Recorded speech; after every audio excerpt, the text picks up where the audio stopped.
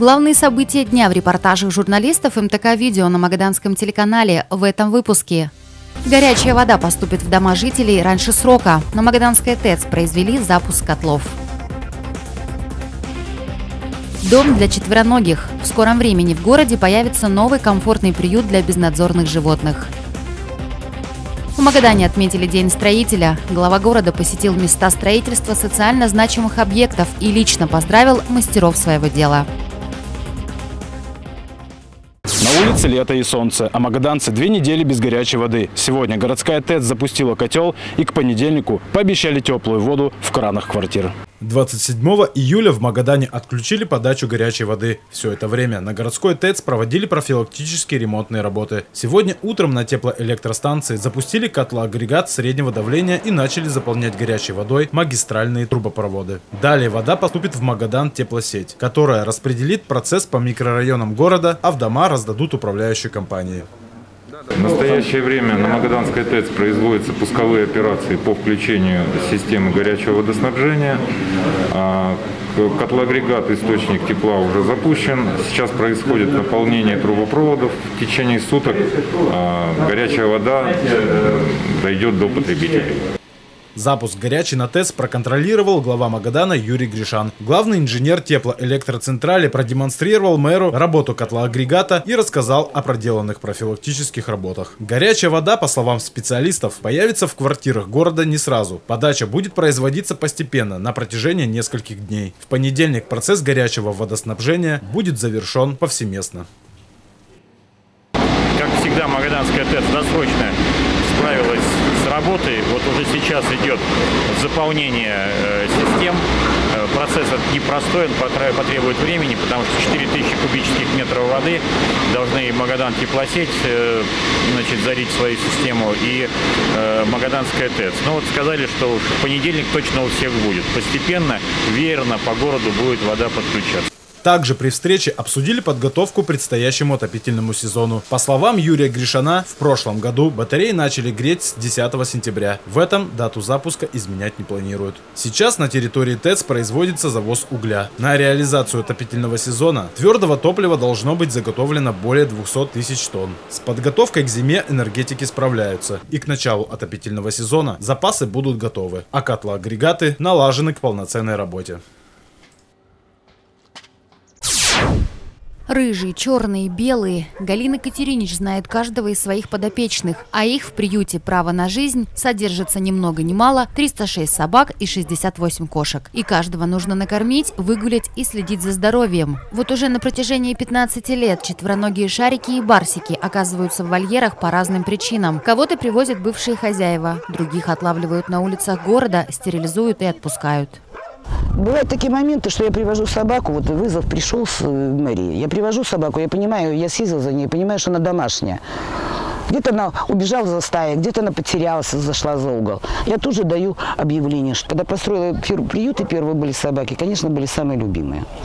А сейчас уже очень много, уже как-то вот они меня любят, и я отвечаю им ласк. По различным оценкам в Магадане около 4 тысяч безнадзорных особей. Зачастую бездомными они становятся благодаря безответственности хозяев. Такие животные, сбиваясь в стаи, иногда становятся небезопасными для людей. Решить проблему безнадзорности животных должен новый муниципальный приют, рассчитанный на содержание 150 собак и 30 кошек.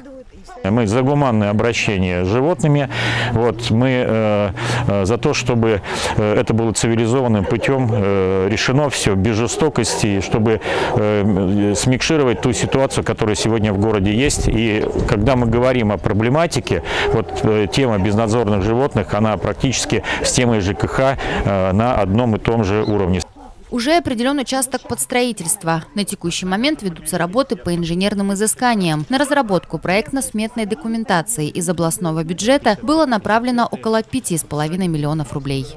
Да, это не дешевое э, мероприятие, но очень важно э, не просто вложить деньги и типа потом отчитываться, мы тут деньги вложили.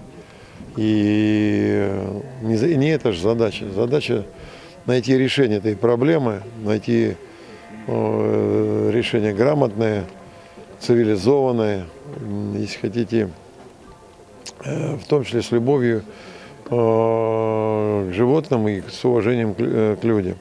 Завершить выполнение проектно-изыскательских работ планируется до конца этого года. После согласования специалисты приступят к строительству нового муниципального приюта для безнадзорных животных.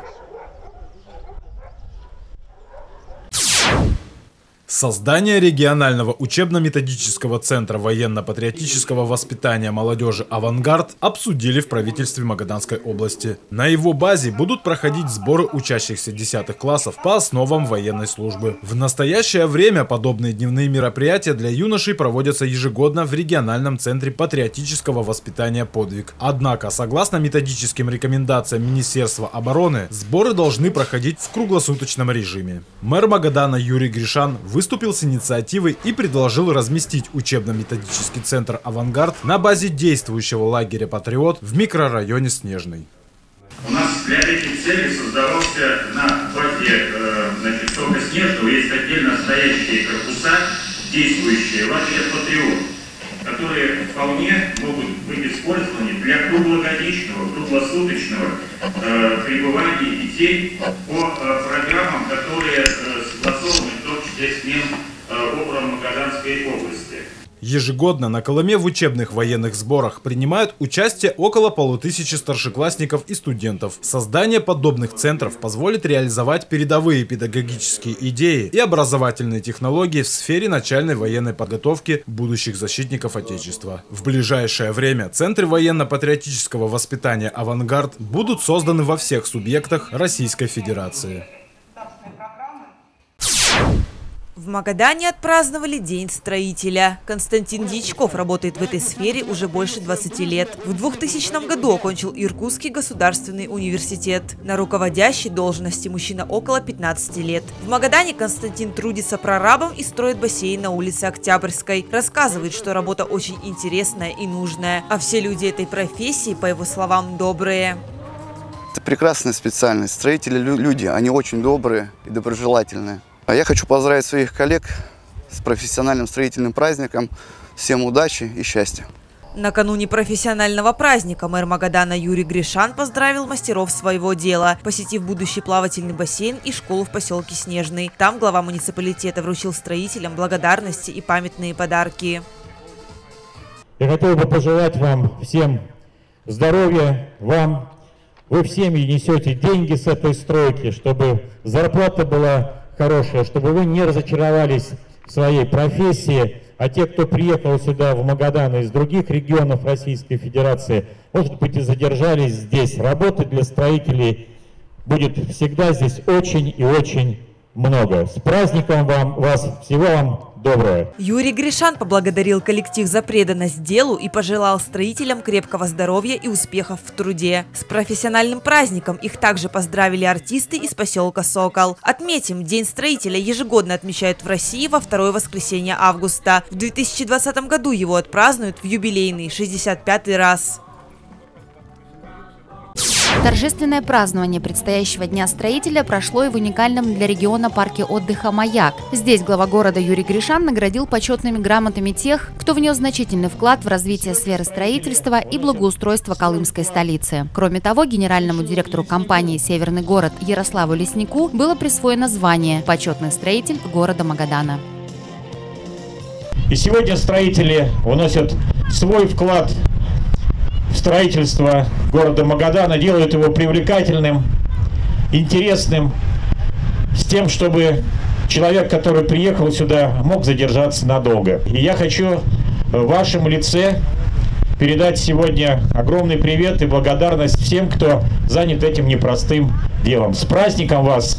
С Днем Строителя! Награждение именно в парке «Маяк» прошло не случайно. Это излюбленное место отдыха сейчас является эпицентром масштабного строительства. Здесь продолжаются работы по берегоукреплению, строятся кафе, ресторан, три гостиничных корпуса и жилой комплекс на 10 тысяч квадратных метров. Кроме того, продолжается реконструкция теплотрассы и Магаданского пирса. В скором времени парк «Маяк» порадует жителей и гостей города обновленной современной инфраструктурой.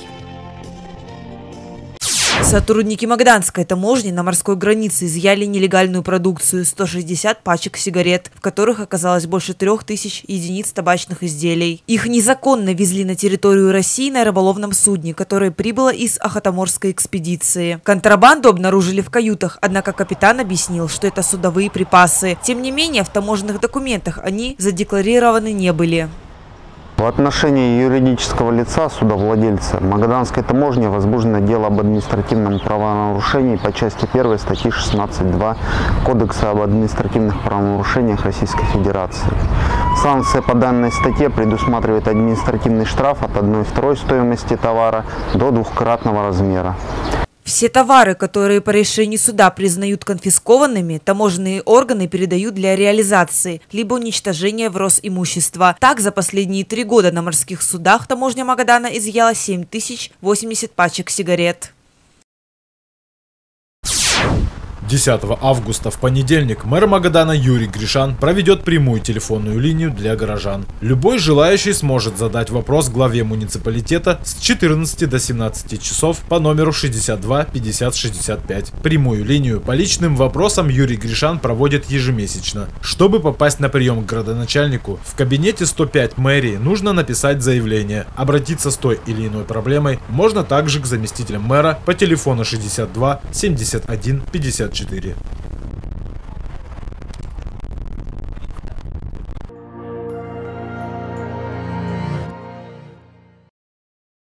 Магазин «Тысяча запчастей». Мы сами закупаем и разбираем автомобили в Японии и привозим в Магадан только самые нужные запчасти. «Тысяча запчастей» в наличии на Берзина 12. Приходите, поможем с выбором. На связи с вами по телефону 61 75 75.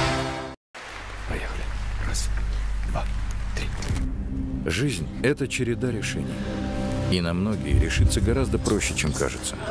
Нужно осознать раз, решиться два, сделать три. Теперь слышите? Как счет раз, два, три. Иногда изменить чью-то жизнь может самое простое решение. Покупая значок «Красная гвоздика», вы помогаете ветеранам. Расцветки и фактуры, которым позавидуют ведущие кутюрье планеты. Шикарные обои производства Италии, Германии и России. Богатый выбор и безупречное качество. Мастерок. Магазин правильных решений. Карла Маркса, 62. Друзья, подписывайтесь на рекламный инстаграм-аккаунт «Рекламная лавка Магадан». Здесь всегда свежая и актуальная реклама, услуги, объявления и вакансии нашего города. Будьте всегда одними из первых в курсе всех акций, распродаж, поступлений там.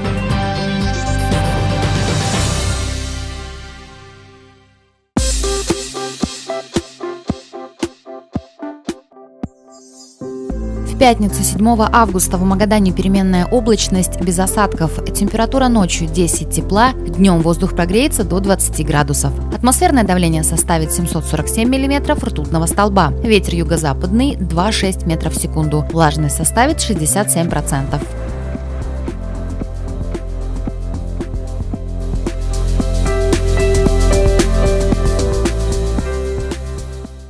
Склад-магазин строительных материалов «Крас» представляет гипсокартон и комплектующие, сухие строительные смеси, древесно-плитные материалы, лакокрасочная продукция, пиломатериалы, гровельные материалы и крепеж в ассортименте.